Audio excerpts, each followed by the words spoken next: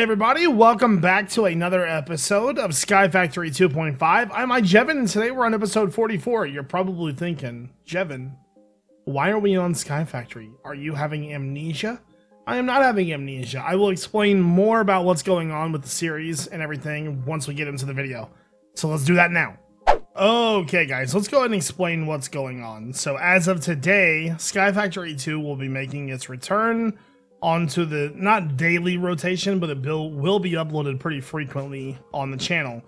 Uh, it will be replacing Crackpack. For some reason, Crackpack just never never got going.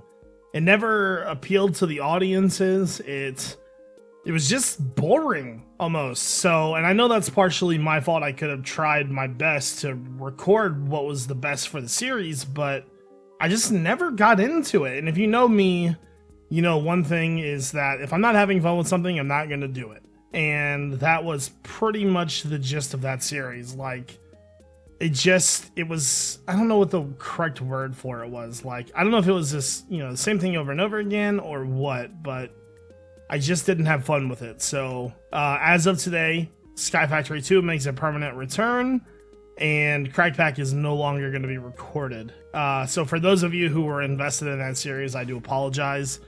Um, I know there's going to be some people that are unhappy. You cannot please everybody, so I'm going to just try to please myself. Um, and I know there's going to be some comments, so that's why your channel's dying. If you feel that way, you feel that way. I'm just going to remove your comment, anyways. But Anyways, I think the first thing that we should do today is do a tour for all the people that are new, uh, that are just kind of seeing this world for the first time. So to start off with, uh, this is our main area right here. This is uh, where we do all of our AE, our RF world stuff. We've got all of our autocrafters. So this goes down a couple levels. Um, oh, I'm like, what in the world? Take that away we have all of our AE storage here, and we have all of our dense cables and stuff. Then we have um, a quantum link chamber for AE on the bottom down there.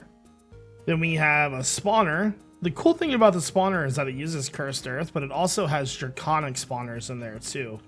And one of the neat things is that it's got a Killer Joe. And the Killer Joe is using a sword that has a Reaper on it and um, so if I were to come and look in my AE system, uh, soul, as you can see, we've got a creeper soul, we've got skeleton souls, we've got a mob soul. Now the only the only problem is is that we're not getting wither souls, so I'm not sure what we're gonna do for that just yet. Um, and then we've got some different farms that you know these are all magical crops things uh, that are running. And this is our wither spawner. This thing, when filled, will kill withers instantly. Uh, they basically fall down and get killed at the bottom. So let's go to a couple different dimensions here. Let's start off in the nether. the nether, we had just a small spawner here. This isn't anything super fancy or anything. This is just to get wither souls um, which I'll probably have to do again because when we move our other spawner, because we're gonna basically be doing a complete base revamp.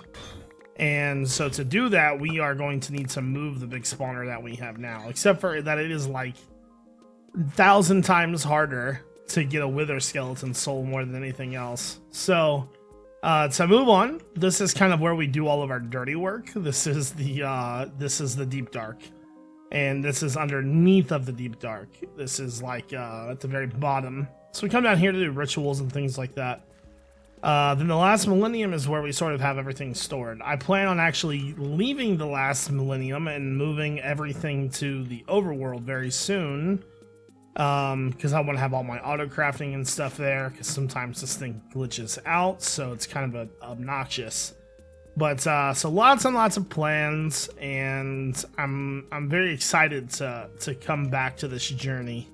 So let's go back home. I think that's pretty much everything I wanted to show you. Yeah, all right. So there's one thing I want to start off today with. I've got to get prep for it though, and I'll be right back. Okay, guys, I just got past our dragon uh, world, barely. Dude, I took so much damage in there. It's weird. Like as soon as I went in there, I was instantly taking damage. I don't understand what happened. Um, let's see. I need to grab some steak. So I made this thing called a sundial. And the sundial is supposed to be able to control time. But I've never used it before, so I don't know how it works. So we're going to have to test it out. Let's come up here.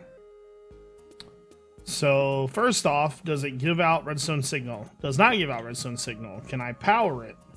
Oh my god. Oh, it's loud. Holy mother of God, that thing is loud. Um, sound. Let me grab some of these. Now, uh, you, you, you, you. Probably three will work, I think. Let's try three. Now. Okay, it's not making any noise anymore. Oh my god, that's awesome! Dude! Look at that thing. It's shooting out a firebolt to change the time. Oh, we can so use this thing. Alright, let you do your thing real fast. I gotta go grab some blocks here. Do I have any? Take these. okay. So I'm gonna steal you. So right now it's nighttime. Uh, and this will not be giving out a redstone signal. The only question is, how far should it be? Um, let's try like three, or let's try two first. Right? So when powered, it'll change it to daytime. And I know for a fact that morning is at 5.15. So it's at 5:23 a.m. is when it worked. And that's like super close. That's actually like within like 2 or 3 minutes of it being daytime. So let's break that and let it go to nighttime once again really quickly. Just to kind of give it one more test. Okay. And then once it becomes nighttime, we'll uh, it'll start running full. And we just need to see when it stops compared to when it's daytime. Alright, so it's now nighttime. And it should be running. Okay, so 5.30 is morning. Let's see when it stops and when it's compared to. See the time difference. Two, three, four. So it stopped at 4.58 that time. So it looks like it's got a different stopping point every time. So there is about that time there was about um a 30 second difference. Ah, it's actually kind of a long time. And if we're running solar power, if we decide to switch to solar power, that's a lot of time that the machine isn't working. Um, you know what? Maybe we give it a uh, a third block, maybe like right here. Hold on. Put you right there and you right there.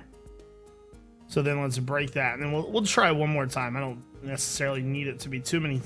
we just need it to be as close as possible, and I'm sure that this will put it very close to there. So awesome, dude. This thing should be illegal. No wonder it's so hard to craft. Okay. So it's uh, now nighttime. We can put our redstone back.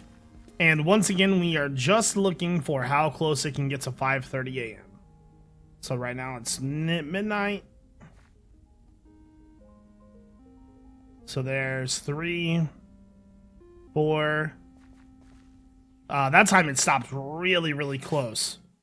Fantastic. All right, I really, really like that. And I don't know why this thing is here. I'm going to remove all this. Um, we do have vein miner, right? Hold on. Vein miner C sneak. I guess you can't vein mine the cable.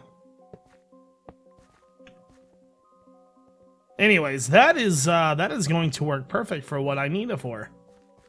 Um, there we go. Now, let's put all that away. So if I decide to go to solar as my... What does it take to craft one of these? A lot of gravel. Um... Lots of different ores. I think the one thing that worries me the most is the aluminum. I really don't have a lot of aluminum. Actually, I've got about 14,000. I've just got two different types. Um... Hmm. You know what we can do? You know, we need to find the solar recipe that uses aluminum. I have no idea which one it is. That right there. Alright, so that is what we need to fix right there. We need to find the one for the initial mirror. Sure it's around here somewhere. Stupid draconic bows that never worked. Okay, we gotta be getting closer.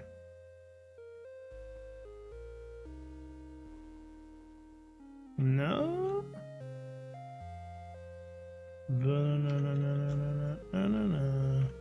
Where the heck is this thing? I know there's a recipe for it somewhere. Or not? It's got to autocraft somehow. I guess I guess we just decided not to make it, huh? Come out, come out wherever you are. Dude. Where is this thing at? There it is. I looked at all of those, dude. I promise you. This is what I was talking about the other day on Crackpack. Um, let me clear this one. And then put that up there. Mirror. Allow substitute of input components. Yep, there we go. So now that'll give us uh, 14,000. That's still quite a lot of aluminum. Um, need to find an empty spot real fast. Anyways, I'm thinking what we might do is make aluminum seeds if we need to.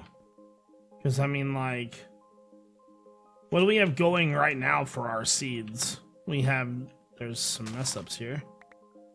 Hold on, let me go over here. Okay, so these are quartz.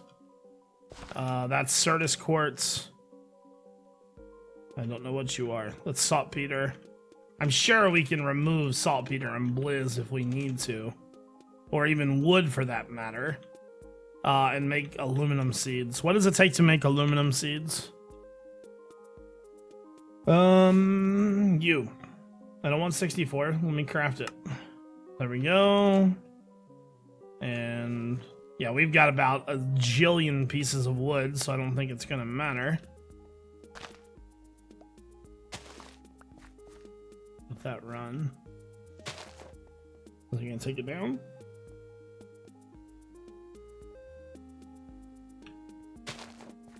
Okay, there we go. So it should be able to run now. I gotta say, I'm a little disappointed. It's not working.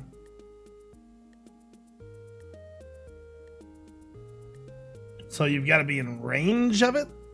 So if I'm like way over here, is it doing its thing? I don't know if I like that too much or not. it's kind of stupid. It's kind of dumb, to be honest with you, that I've got to be in range for it to work. If it's... If the base is chunk loaded... Which, you know, I don't know if there's a chunk loader here or not, actually. Let me check on that real fast. Ah, I cannot fly with this armor. I'm seriously considering switching armor. Yeah, there's there is like plenty of chunk loading going on here. I mean, I can even chunk load with this if I wanted to.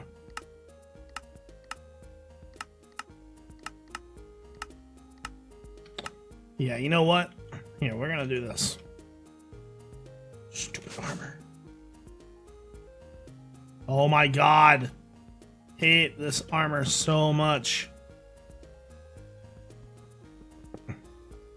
Okay, we'll remove that.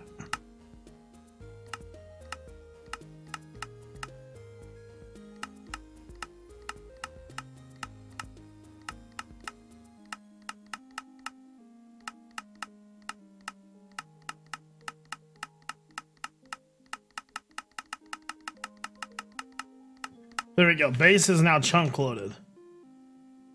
Fancy. Now that that's done, let's fix this stupid armor. Do I want any of that? No. Vertical acceleration. Yeah, I want to fix that. Okay. I shall make you work better for me.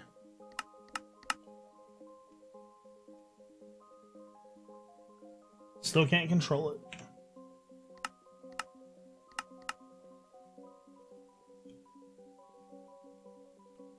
Okay, it's a little better. Still moves pretty fast, though.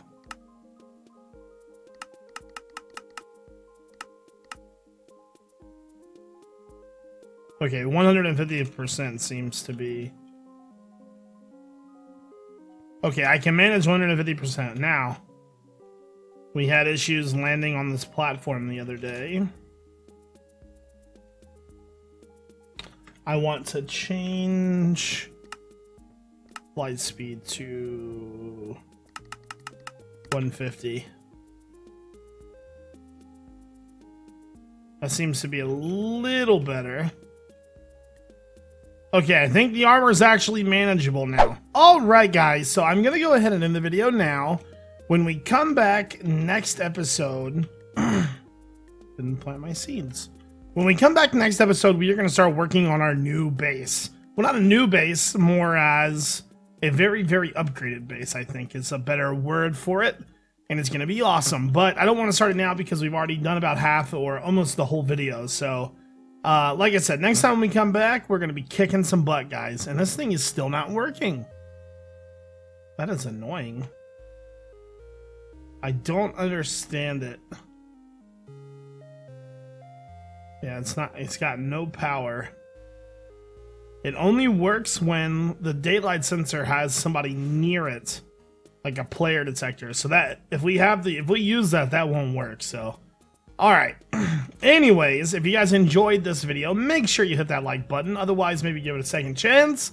Other than that, I hope you guys all have a fantastic day. This is iJevin. Peace out.